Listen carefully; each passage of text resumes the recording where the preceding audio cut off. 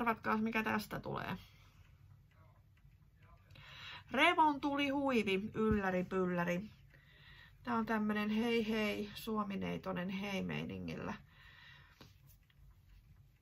Semmonen niin, sanotaanko, sininen on ehkä mulle jopa semmonen ehkä kevyt turn off väri. En hirveästi tykkää. Tässä nyt sentään niin tää liukuu aika kivasti tohon valkoiseen.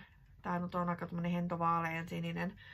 Mut niin se, että mä en vaan pääse siitä yli, että mä en kauheasti tykkää sinisestä. Toki sit voi kysyä, että minkä ihmeen takia mulla oli sininen hääpuku. No se ei ollut sinällään sininen, se oli vaan jään sininen, mutta kuitenkin tämmönen. Mut, mut. Tosiaan, tähän malliin palaan kerta toisensa jälkeen.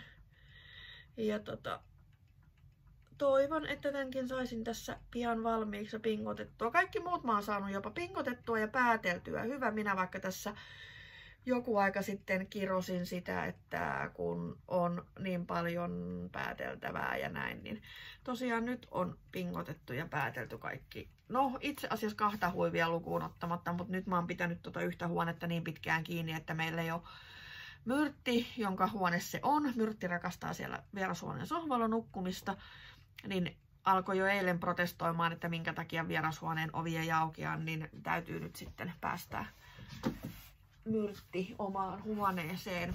Samalla mä tuossa yksi päivä kattelin, että minkä verran mulla on näitä viranvilloja vielä jäljellä ja siellä on useampaankin huiviin.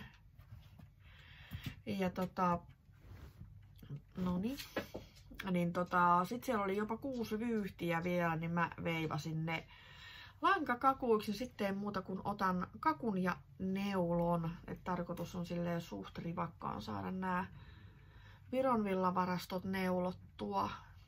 Ihan vaan sillä, että saan neulottua ja saan valmiita tuotteita.